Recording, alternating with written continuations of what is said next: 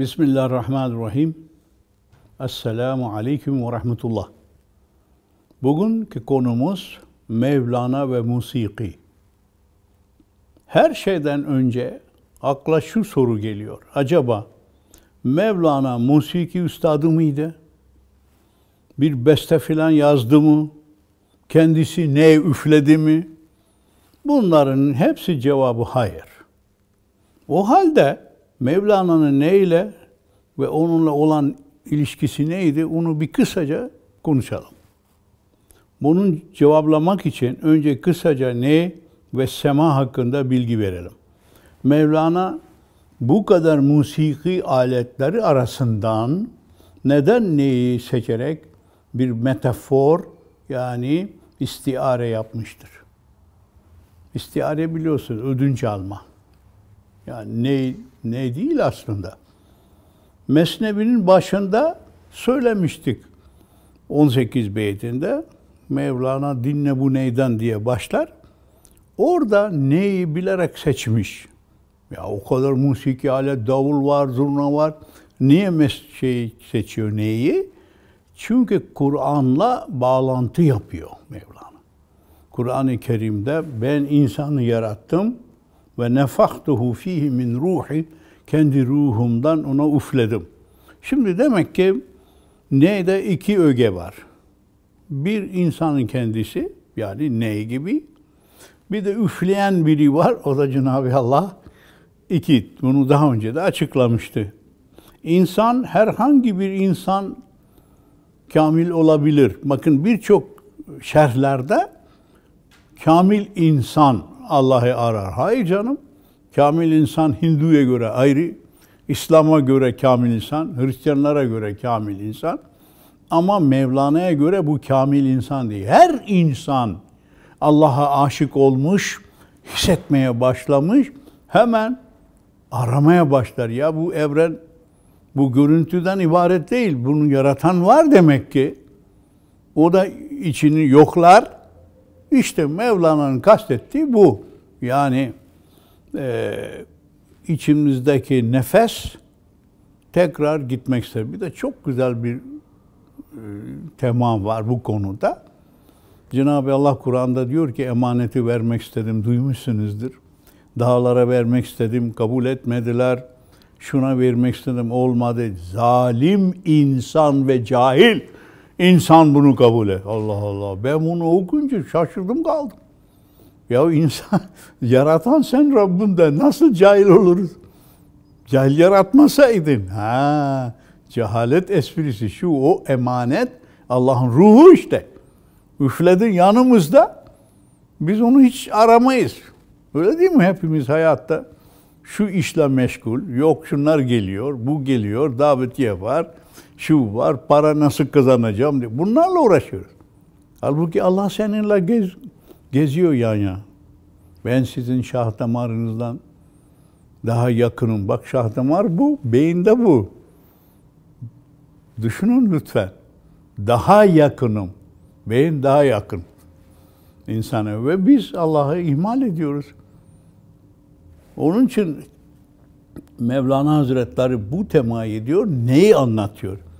Akıllı olsan, bunu hissebilsen, hissedebilsen, o gelen ses kimin sesi? İşleyeceğiz şimdi. Bakın, maçu naimo neva der zatust. Maçu kohimo sada der zatust.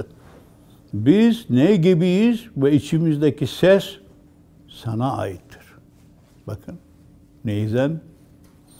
Biz dağ gibiyiz ve onda yansıyan ses sizdendir diyor. Sendendir diyor. Devam ediyor. Bu Mesnevi'den aldım bunu. Sırrı pinhan est andar ziru bam. Faş eğer guyem cihan berhem zenem. آنچه نه میگوید اندر این دو باب گر بگویم من جهان گردد خراب Mesnevi'nin akışı böyle. Mahsus okuyorum. Bu zevki alalım.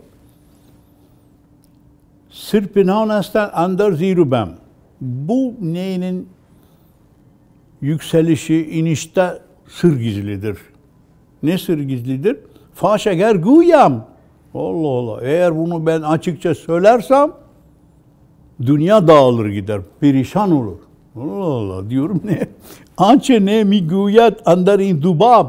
Bu konularda ne ne söylüyorsa eğer ben bunları söylemeye kalkarsam gerbi guyam ben cihan gerdet harap dünya harap olur. Ha, biraz zor bunu anlamak öyle kolay değil. Yani bir insan Allah'ı keşfedip onun sesini almaya başlarsa dünya harap olur. Dünya ile hiç ilgilenmez artık. Onun sevgilisi var. İşte Mevlana bu makama gelmiş bunu söylerken. Her seste Allah'ın sesi olarak görüyor. Biz nasıl güllerde, çiçekler, doğa Allah'ın mektubudur diyoruz ve Allah Cenab-ı Hakk'ı arıyoruz ama o basit şeyler. Ses de o aynı şekilde diyor Mevlana. Du, bakın devam ediyor gene Mesnevi'de. Du dahan davreyim hem çüney. Yak dahan pinhanest der lebhayi vey. Allah bakın. Bizim ne gibi iki ağzımız var. Ama bir ağzı burada, bir ağız o taraf, bir ağız o tarafta. Evet çalıyoruz burada ama bunun iniltisi, ağlayışı o tarafa benzetme yapıyor. Yani ne olarak düşünmeyin. İnsan olarak düşünün. Çünkü Mevlana'ya göre ne burada? insandır. Allah'ı hissetmeye başlayan illa kamil değil efendim. Kamil insan zaten Allah'ı biliyor. Ben bunu reddediyorum. Sadece insan. Kim olursa Hristiyan olur, Hindu Allah'ı anmaya başladığın an ve onu hissetmeye başlar, onu arar. Diyor ki Bizim ne gibi iki ağzımız var. Biri onun ağzında, dudaklarında gizlidir. Birisi de burada ses çıkarıyor. Yani aslında ne çalınıyor ama bir çalınan daha, çalan daha var. O hani nefaktuhu fihi min ruhi ben ruhumdan üfledim demiştik ya onun kastediyor. Dikkat buyurunuz. Yak dahan ne olan şu de su işima bir ağız sizin tarafta ağlıyor. Hı hı inliyor. Hay hu der figan orada hay hu edip duruyor. Ama leki danet herke uğra nazar as nazar sahibi gözü açık olan kimse bu figanların bağırışların o taraftan geldiğini bilir. İşte semadaki ne esprisi budur. Yok efendim Mevlana ne çalmış mı çal. Bırakın bu taraf. Mevlana neyi de başka bir şey hissediyor. Allah'ın çağrışını bir de tabii bunu herkes biliyor. Alesto rabbukum anlatacağım inşallah. Ben sizin Tanrınız, Allah'ınız değil miyim diyor Allah yaratırken. İşte o sesi duyuyor. Sonra gönülleri Allah'a bağlı olan, dürüst olan, ibadetini yapan bunu hissetmeye başlar. Allah'ın sesi geliyor. Hani ezanda da öyle ya. Şimdi şimdi geçeyim ben semaya doğru. Bu ne? Sema. Sema biliyorsun işitmek, dans etmek anlamına gelmeye başlamış. Musikiyi dinliyorsun, dayanamayıp dönmeye bak, kendinden geçiyorsun. Bakın, sema iki türlüdür. Dünya gösteriş için yapılan sema, fiziksel, şöhret olayım, para kazanayım, ben öne çıkayım. Yemek içmek ancak bu vücudu besler diyor Hazreti Mevla. Ama ruhu beslemez. Böyle bir sema vücudunu besler. Evet para alırsın, gösteriş, güzel şapka giyersin, dönersin. Ama asla geçemezsin. Aslına geçemezsin. Diğer sema ise sırf Allah aşk için yapılan semadır. Onun niyeti Allah'a ulaşmaktır, Allah'ı dinlemektir, Allah'ın yanına gitmektir. Namazda iki türlü ya kızım. Bir zahiri namaz var. Kıl kıl baba kıl. E sonuçta Allah'ı burada hissedeceksin saat gibi tık tık tık tık başlayacak. O başlayınca Cenab-ı Allah'ın lütfu başlar. İnanmayacaksınız kendin yanında hissedersin o. İşte onun hüzete felâ hofu aleyhim makamına gelirsin. Ne korku sarar, ne gam sarar, ne keder zarar. Bu noktayı bilen insan neyinin sadece bir benzetme olduğunu ve Mevlana'nın neye aşık olmadığını bu içindeki sese hitap ediyor, benzetme yapıyorsun. Aslında neye bakacak olursa bu ne aletini, Mısır'da, Firavunlar'da, Hindu, Krishna'da çalıyor. Tanrı olarak resmi var. Çok güzel.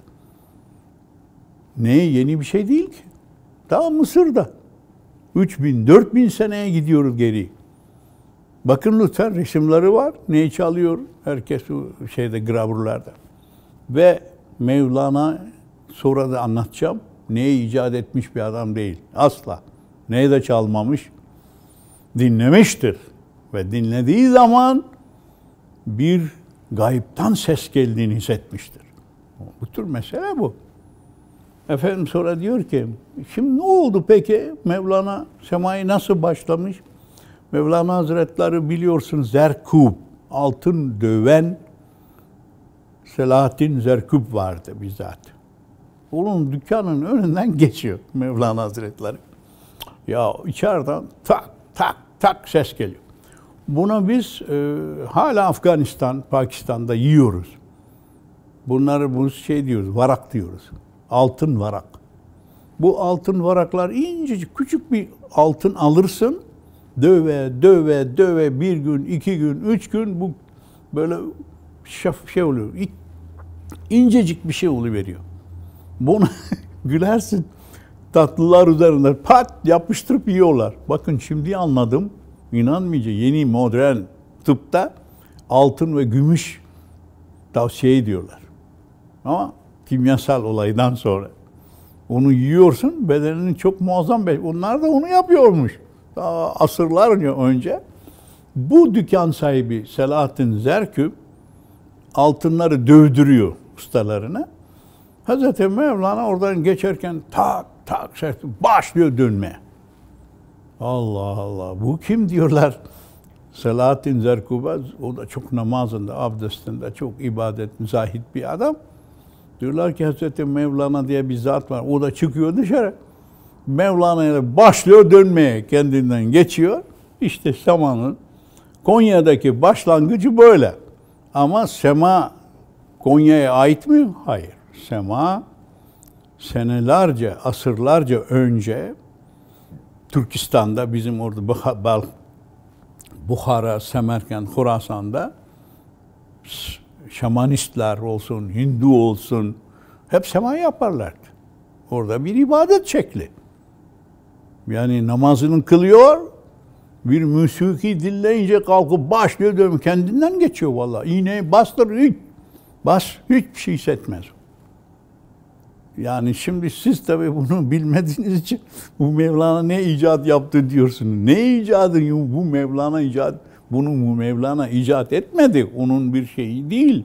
Bu var olan bir hareketi Mevlana kendinde hissediyor. Geçiyor ne yapsın? Takla mı atsın? Başlıyor dönmeye.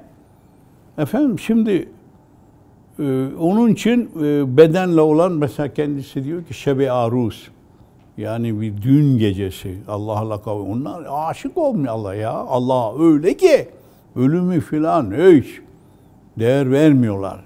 Böyle bir makama geliyorlar. Efendim yani insanın vücudunda daima ikilik vardır. Daha önce de bunu çok iyi açıkladım. Bir insanın bedensel ihtiyaçları her zaman beyin ister şu aha şu kebaba bak koku gelir. Onun peşine düşüyor. Bu hayvansal bir şey. Bunu bazı hayvanlar, tilkiler falan yapar. Ama bir koku daha var. Hayvanlar almaz. Ve Allah kokusudur. Onu hisseder etmez insan o tarafa düşer. Ve daha önce bu örnekte vermiştik. Ne tavus kuşu, ne ördek, ne karga bunlar gibi olmaz hayvanlar gibi. İnsanda bir ben vardır, benden içeri. O beni insan yakaladığımı dünyanın en mutlu insan olur. Evet, devam ediyoruz. Şimdi ben e, şeye geçeyim efendim müsaadenizle. Mevlana'nın babası Bahaddin Veled Hazretleri sema hakkında veya musiki hakkında nasıl bir fikre sahip? Öyle ya. Çünkü Mevlana onunla yetişmiş. Onun ilk hocası o. Mevlana'nın ilk hocası olan şey El-Arif eserinde El-Muarif de var, El-Arif de var. Daha bu Türkçe'ye sanıyorum çevrilmedi. Burada şöyle diyor. Şimdi herhangi bir musiki alet tarafından çalınan müziği dinle. Dinle ki Allah'ın verdiği kutsal heyecanına ulaşasın. Dikkat buyurunuz. O da hayır dinleme demiyor. Sonra acılarla kıvranan insanların inleyişlerini de sev dinle. Ki duyguyu gelesen ve Allah'a yanaşmaya çalış, çalışasın. Sonra devam espri yapıyor. İnsanlar arasında Nuh aleyhisselam'a Nuh demiş çünkü Nuh'a yapardı, ağlardı, bağırırdı. Onun gibi o.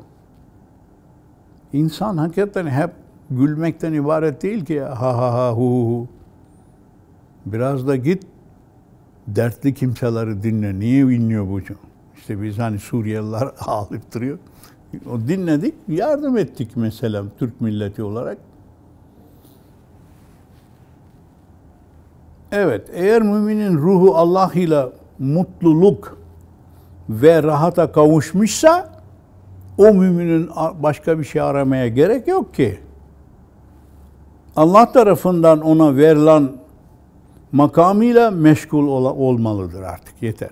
Kim diyor bunu? Mevlana'nın babası.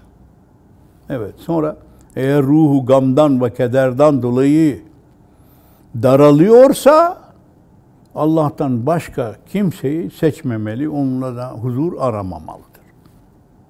Allah'tan ayrılık meydana geldiği için çocuk gibi ağla ki ağlayan çocuğa meme verir anne.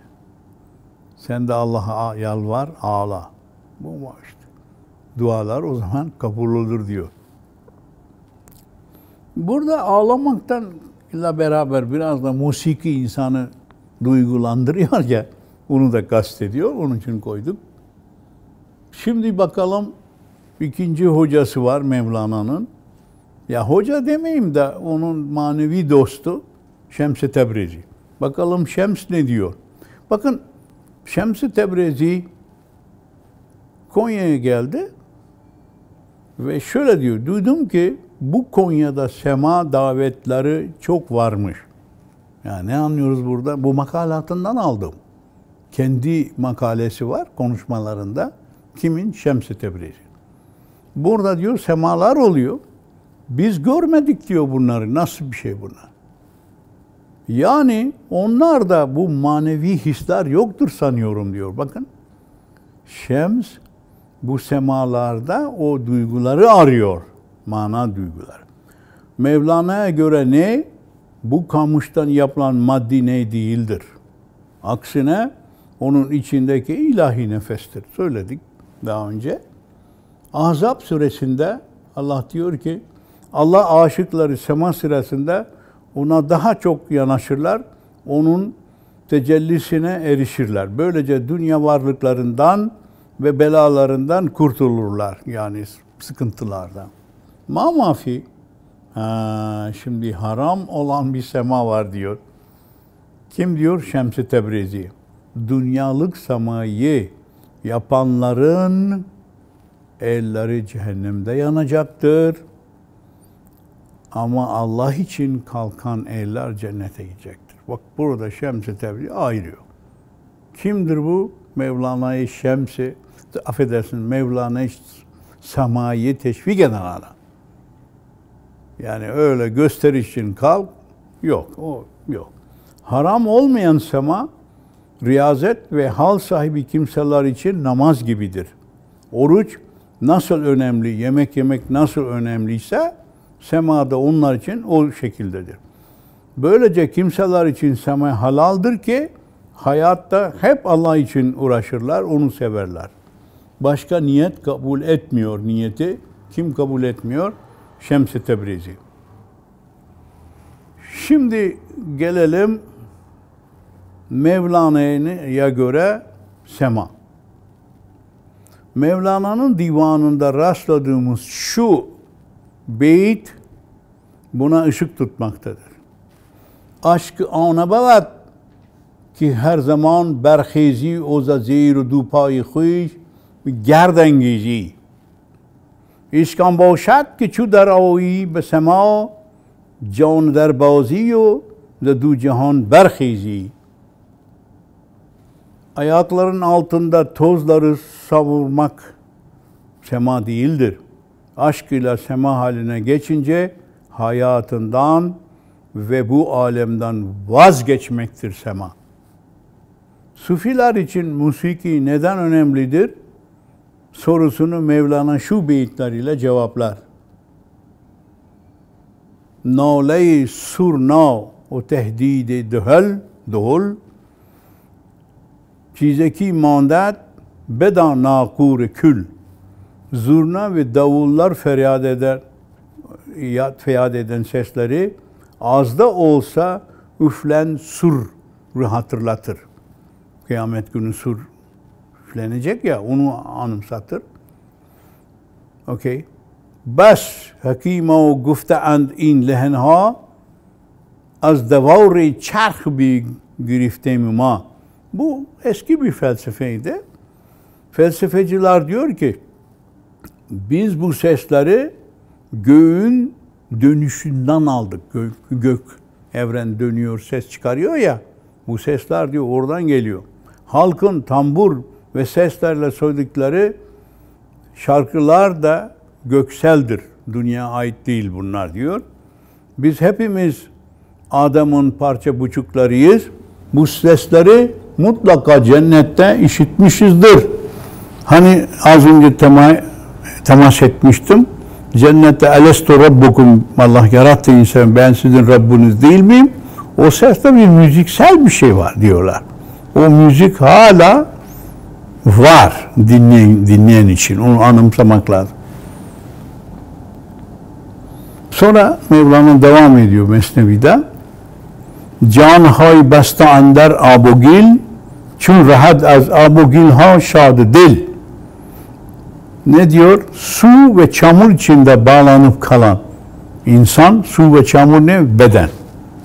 Su ve çamurdan oluşuyor ya, kurtulunca aşk duygularını dans e, ya geçer ve dans etmeye başlar. Musiki dinler. Der havayı işk hak raksan çevan der havayı işki hak Allah'ın aşkıyla dönmeye başlara hem çukursu bedr ve noksan şeven. Güne, e, ayın güzel çemberi gibi tertemiz olurlar diyor.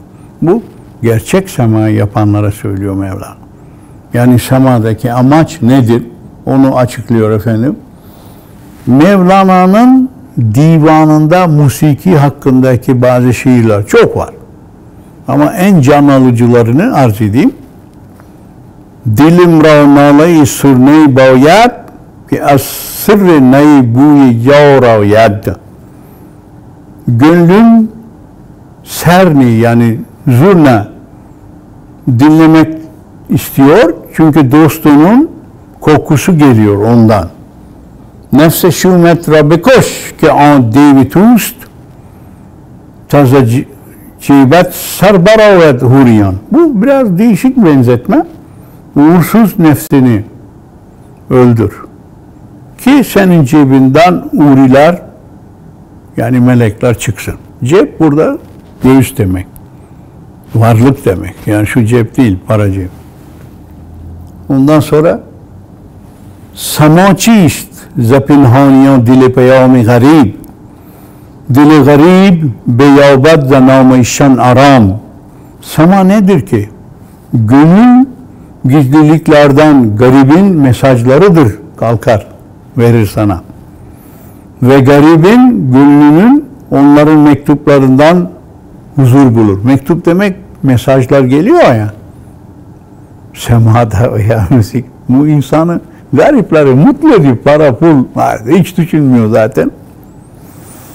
Bu esintiyle aklın dalları yeşerir.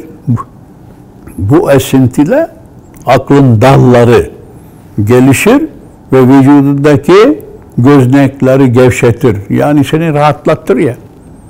Bu bir felsefe, terapi. Yani müziki, musiki terapi şimdi Avrupa'da ve Türkiye'de de moda oldu biliyorsunuz. Mevlana bunu yıllarca önce söylüyor. Semada bu olay var. Şimdi bana tabi uzatmak istemiyorum bu konuda çok sorular soruldu. Singapur Üniversitesi'nde konferans veriyorum. Dediler ki Budistler ya diyor bu Buddha'dan mı aldınız? Dedim ki sizin meditasyonunuz statiktir. Yani durgundur. Siz oturursun yerde sema yaparsın. Yani uçarsın. Ama bizim tasavvuftaki sema öyle değil. Hareket var bunda. Dönerek evrenle beraber yani aslında aynı kapıya gider de böyle bir şey. Mevlana divanında ilgi çekici şu ifadede bulunur. Sama üzümden şarap yapılırken insanlar üzümü ayakların altında ezer, üzümü çıkartmaya çalışırlar hanımlar veya erkekler. Sema da böyledir. İlahi şarabını bakın benzetme yapıyor çıkartmak için semazenler ayaklarını yere vurarak döner. Benzetme. Ya illa şarap değil. Mevlana da zaten Mesnevi boyunca bilhassa Divan-ı Kebir'de şarap bildiğimiz şarap değil. Bunu yanlış anlamayalım.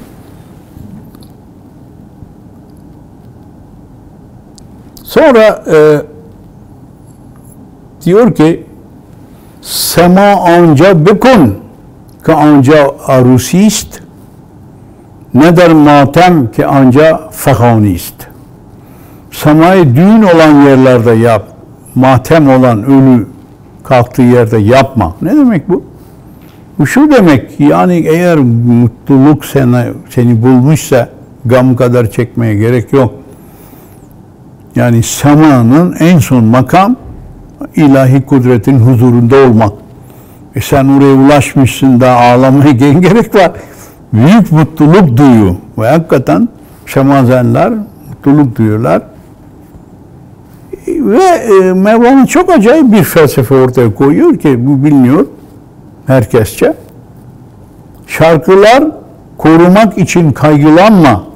Müzik çalgıları birisi müzik aleti kırılırsa kaygılanma. Çünkü öte alemde hep musiki var zaten. Şimdi öteki alemde dil var mı soracak olursak bu konuştuğumuz dil yok. Sadece musiki var. Musikiyle insan ifade ediliyor orada veya duygulanabiliyor.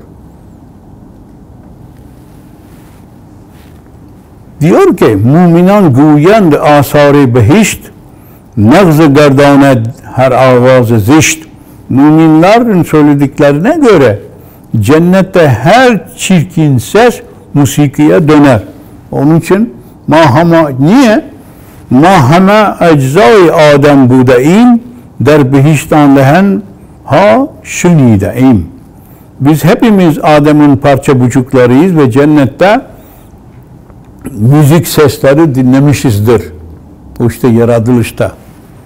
Gerçi barma riht abu gil şeki Azan çizi ki. Gerçi su toprak üzerimizde şüpheler dökmüştür. Yani topraktan ya vücudumuz. Yine de rüzgarımız ondan bir şeyler kaçırmıştır, kurtarmıştır merak etme. Ve lekin çün amihti ba hakı kerb toprağa üzüntüler eklendiği için müziğin notaları eski zevki vermez belki şimdi. Sonuç olarak Mevlana'nın seması, yaptığı sema böyle görüntü, görsel bir sema değildir. Zaten Mevlana iki türlü sema yapmıştır. Bir gizli tek başına, yani ibadet gibi. Bir de halkla beraber dönmüştür. Teşekkür ederim.